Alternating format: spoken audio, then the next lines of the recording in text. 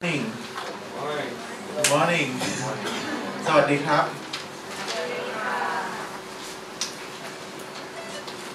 Uh, good morning everybody. The lecturer and the student from Mahidol University International College uh, and on behalf of the Sirindhorn International Environmental Park uh, we are so glad to have an opportunity to work on of you, all of you today. Uh, do you know have you ever heard about the Sirindhorn International Environmental Park? Okay, someone have ever heard, right? Okay, uh, the, uh, the, name Sirindhorn, you know who is named Sirindhorn? Hmm? You know? ah, uh, Thai people call her Phra Thep, right? Okay, so this park is uh, established after her working on in the park to recovery of the uh, natural เตอร์สนใจฮาวายนนท์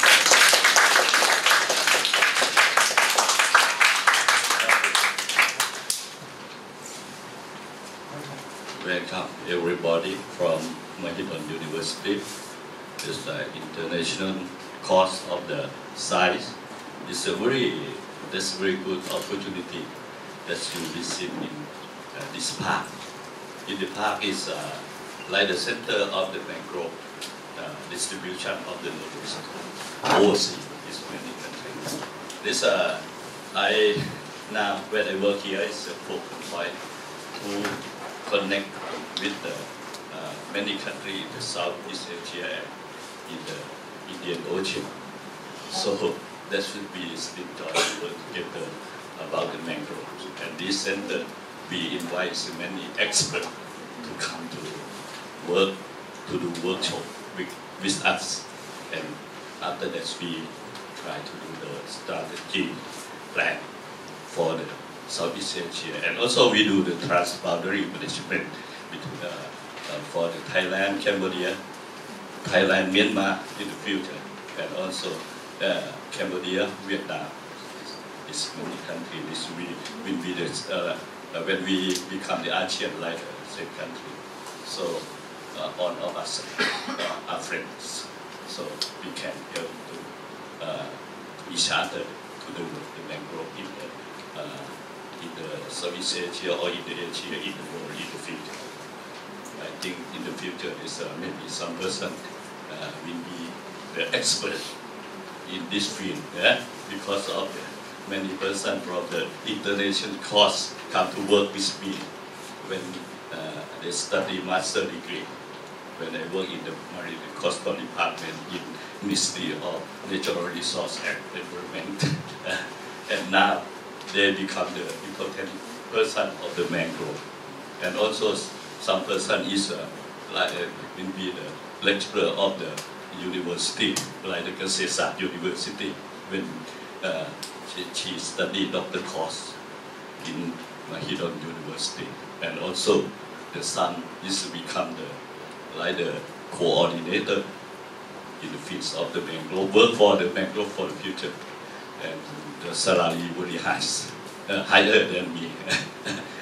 I, very low, but my my staff now is high. So you are lucky to study in uh, in University. We look for the person who can work with us in the city part. We need the person that's uh, good English and come to help us in the future. When you visit here, if you uh, uh, visit the mangrove of the Sirindhorn International Park. If you interest, you can do TC here for the master degree or the doctor degree in the future. And we need uh, this person to After we finish for our presentation, we visit the exhibition of the uh, conservation or energy for with four exhibitions and then we go to visit the mangrove forest together.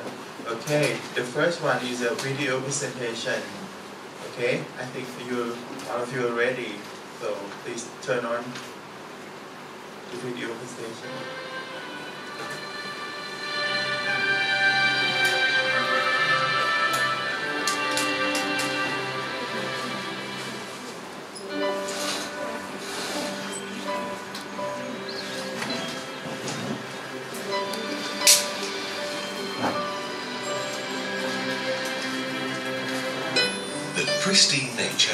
Fertile natural resources on the Marukatayawan Palace's premises are telling a true story about how conservation of natural resources and environment has been accomplished through combined efforts.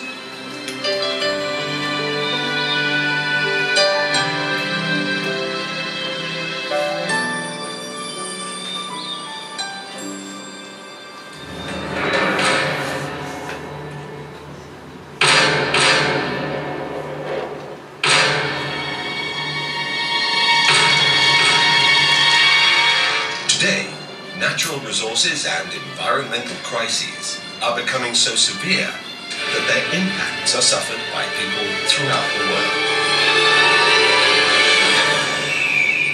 It is therefore everybody's duty to pay closer attention to nature conservation for our own sake.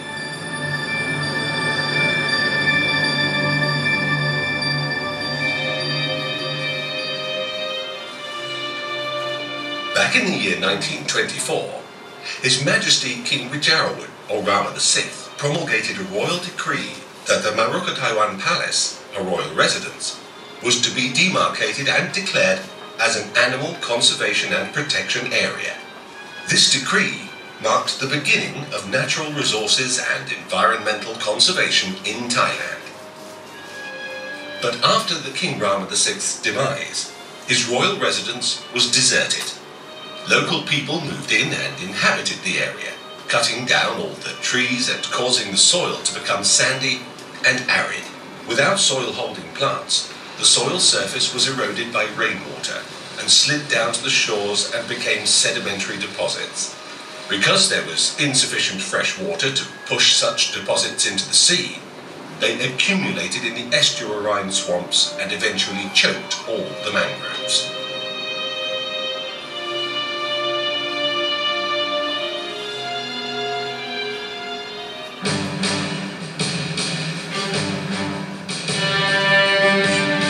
1983, His Majesty King Bhumibol paid a royal visit to people in Prachuap Khiri Khan and Phetchaburi provinces.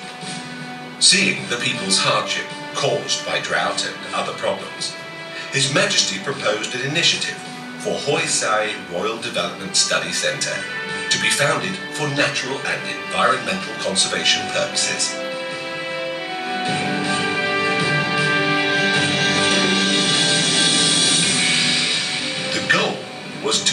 Sustain a moist forest by installing check dams in mountain ridges to slow the flow of water and keep sand and stones from depositing in lower areas. Due to the slower flow, the soil could absorb more water and sustain its underground moisture that nourished the plants. Gradually, a verdant forest was revived.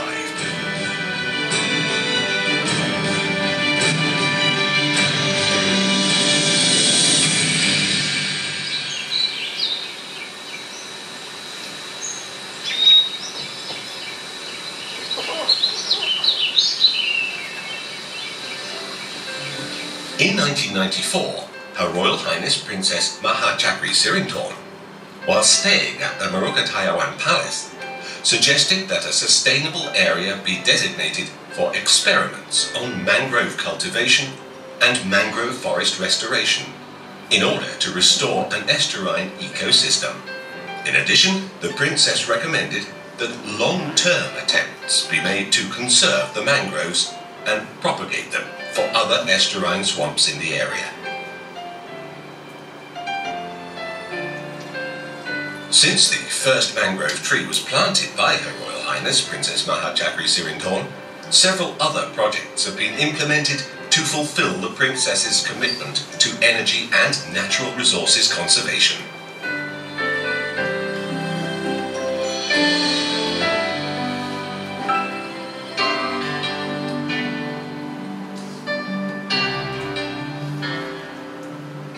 In 2000, collaborative efforts by the three organizations in charge of maintenance of the Murukatayawan Palace's premises, the Border Control Police Bureau, Huai Sai Royal Development Study Centre, and the Murukatayawan Palace Foundation, under the patronage of Her Royal Highness Princess Pechalat Raja Sudat Siri Sopa Padnawadi,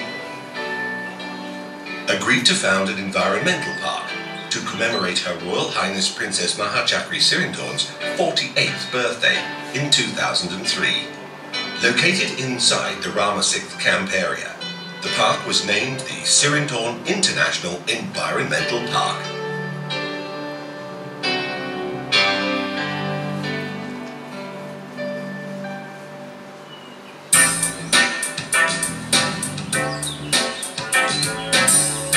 Since then, the Sirindhorn International Environmental Park has served as a living nature museum where knowledge of conservation of energy, environment and natural resources can be acquired, applied and extensively disseminated both domestically and internationally. To fulfill such a goal, the Sirindhorn International Environmental Park is equipped with learning resources and a wide range of facilities, both of which are conducive to knowledge dissemination and international level training. This Energy for Environment Centre, which is supported by the Energy Conservation Promotion Fund, Energy Policy and Planning Office, and the Ministry of Energy, serves as a centre for dissemination of energy and environment conservation knowledge. Inside this centre, not only can visitors enjoy its various exhibitions, but they can also visit the Energy and Environment Library, where books and other learning resources relating to energy and environment are available. The main exhibitions by the Energy for Environment Centre are the exhibitions of Royal Initiatives. These exhibitions feature an entire range of nature and environment conservation initiative projects by His Majesty King Bhumibol, Her Majesty Queen Sirikit, Her Royal Highness Princess Srinagarindra, the late Princess Mother, and Her Royal Highness Princess Mahachakri Sirindhorn. The Energy for Environment exhibition consists of three themes. The first, Value of Energy, focuses on energy crisis and alternative energy resources. The second, Let's Save Energy, features what each person can do to save energy and reduce waste. The last, Energy Technologies Worth Knowing, presents energy generating technologies alongside energy saving innovations. The Sufficiency Economy exhibitions feature His Majesty King Bhumibol's philosophy of sustainable development based on the principle of economic sufficiency.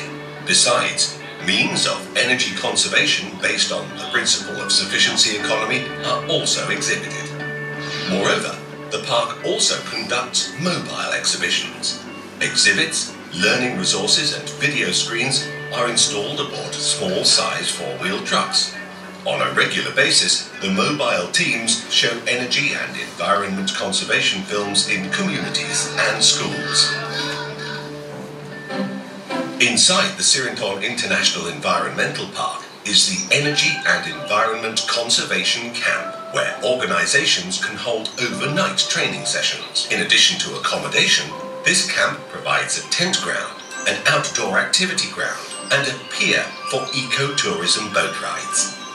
This is the International Environment Camp, which is supported by the Institute for the Promotion of Teaching Science and Technology. This camp is a venue where developmental training programs for teachers of science, mathematics, and technology can take place. The facilities include a learning centre, a conference hall, and different types of accommodation.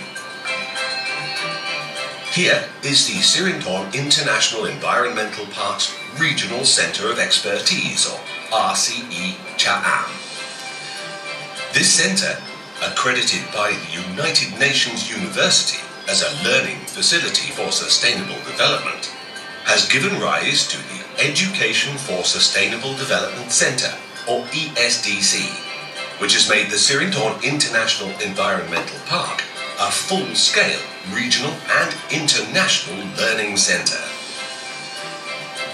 Apart from receiving education, participants and visitors to the Sirindhorn International Environmental Park are also welcome to the Souvenir Centre inside the Energy for Environment Centre area, where a wide range of souvenirs are available. The Sirindhorn International Environmental Park also promotes renewable energy through its Energy Innovations Learning Centre. It's here that different forms of renewable energy are demonstrated, such as solar energy and wind energy, as well as demonstrations of modern, practical energy generating means for community level consumption, as prototypes to promote alternative energy sources for local communities.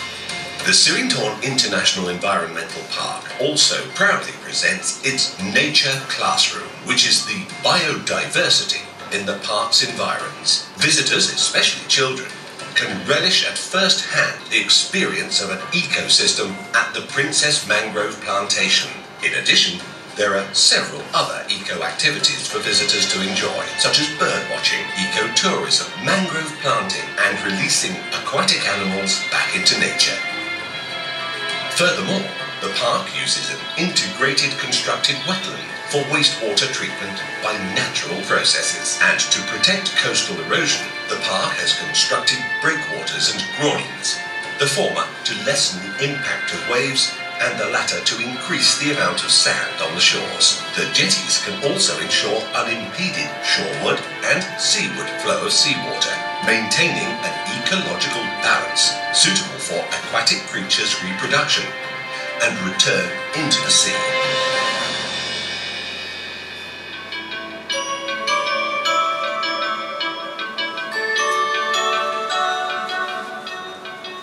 Not far from the Sirindhorn International Environmental Park are some of His Majesty the King's Royal Initiative projects worth visiting and studying. Such projects include Huai Sai Royal Development Study Centre, the King's royally initiated Lempakbia Environmental Research and Development Project, His Majesty the King's Initiative Hub Kapong Project, Suan Somdet Prasid Natarindra Baromarachachonani, and Chang Huaman Royal Project. All of these projects have been implemented in the best interest of the Thai people.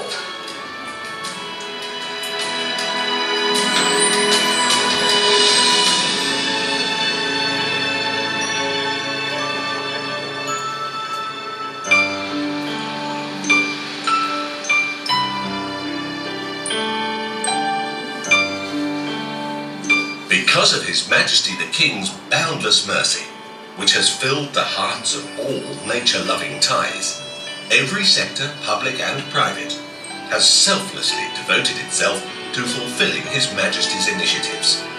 All have one common goal to accomplish, to restore forests, biodiversity and natural resources in our region, country and the world as an invaluable gift for all mankind.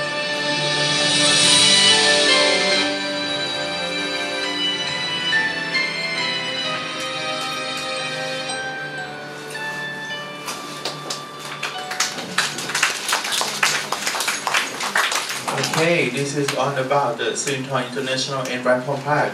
I hope all of you, nobody is sleeping, right?